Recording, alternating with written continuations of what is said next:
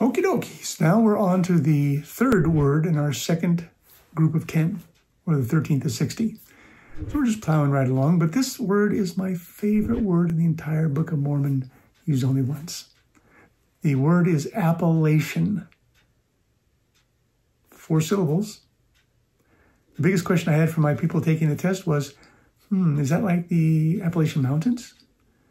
No, it's not spelled that way, and it's not defined that way. One definition only. Now, just a couple of outside observations. Appellation is not used in the Old Testament. Appellation is not used in the New Testament, nor in the Pro, or Great Price Doctrine Covenants. So, if Joseph is writing this as the critics and the antis acclaim, he had to know the word from somewhere. Where would he get it? Where would he be talking to a group of people or even reading and see, oh, appellation? Because you can see a word somewhere. It could have been in the Bible, but you got to know the definition, precise definition, to use it correctly. It's not there. Again, this is a nice one to say. Joseph couldn't have known these words, this word. Just isn't going to happen with the education and background he had. Okay, how would you spell it? Let me get my old word out here. Appellation, A P P E L L A T I O N. Now, 33% of the people spelled that right.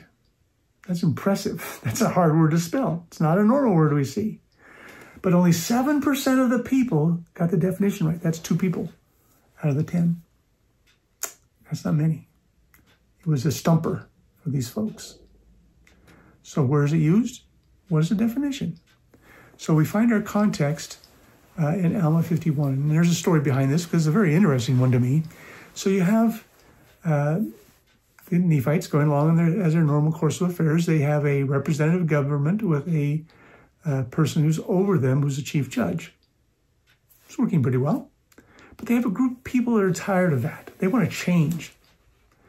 They want a king.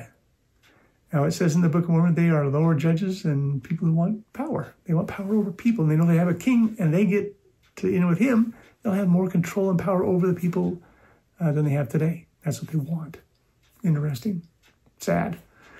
Uh, and so, to start with, we need to know how they're named, because that's going to bear to appellation just down the road, just a little bit in Alma 51. So, let me read those uh, to you.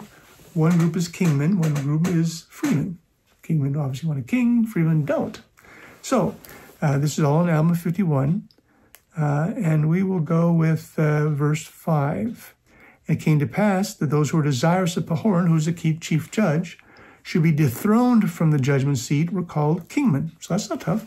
They were called kingmen. It's normal, it's normal English, that's how we talk. Okay, no big deal. Then they had the group that doesn't want that to happen. Uh, and those who were desirous that Pahoran remain chief judge over the land took upon them the name of freemen. Again, there's no surprises in how any of the English used there. That's just normal, no problem. Well, where does appellation come from? Now the story. So these people are arguing. They're they're not battling physically, but they're debating. They're saying, "No, we want this. We want this."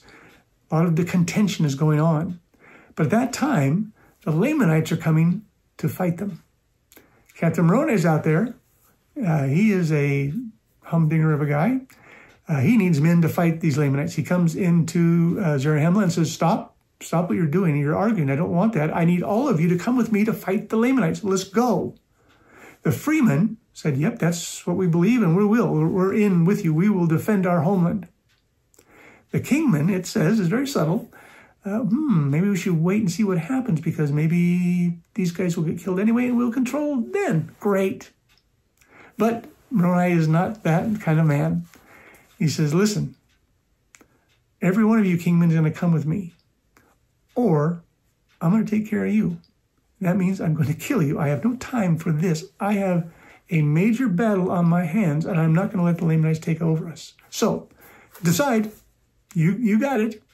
Oh boy, is he really serious? Did he really do that? And so many of the kingmen said, "Well, okay, we'll go fight," and they left. And the other uh, kingmen, when I killed them, they were dead. The Kingmen were gone. There's no more Kingmen. So now we're going to read appellation. How does appellation fit into all of that? Here it comes. So, thus Moroni, this is verse 21, thus Moroni put an end to those Kingmen.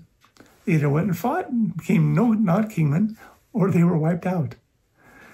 Uh, that they were not known by the appellation of kingmen anymore. Hmm.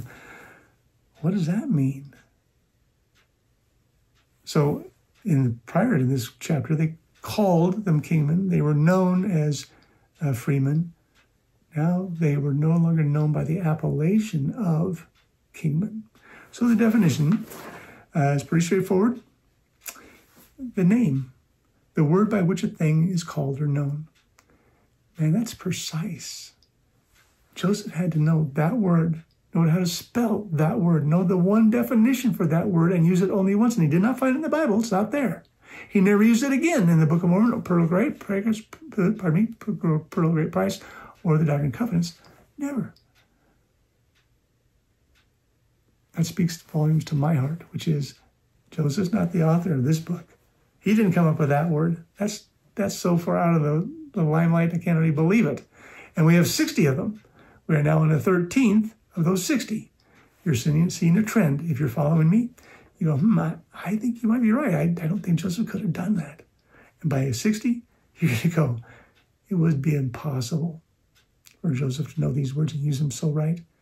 My contention, it would have been impossible for any man in that day or ours to write this book using these words the way they're used.